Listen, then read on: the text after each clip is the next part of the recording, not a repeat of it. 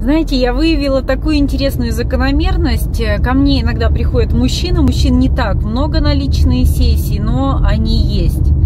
И у всех мужчин запрос на деньги и про женщин. И вот я выявила такую закономерность. На бессознательном уровне мужчинам не нравятся милые женщины.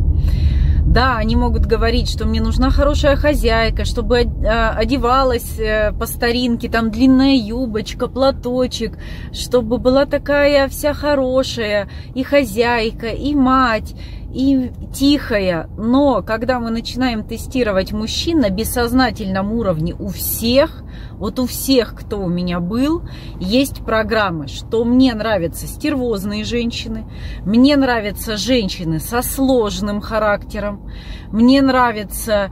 А, были такие мужчины с жестким характером, женщины, чтобы мной управляли, то есть на бессознательном.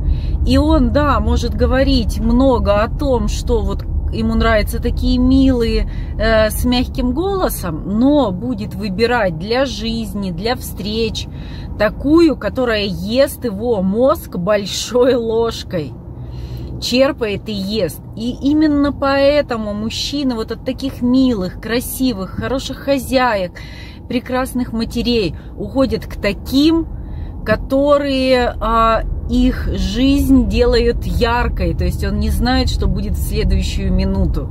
И вот для нас, для женщин, это повод задуматься, как нужно себя вести, и что мужчинам обязательно нужно устраивать периодически что-то такое, что они не могут предугадать, что-то интересненькое в жизни, какую-то перчинку. Девочки, подумайте над этим.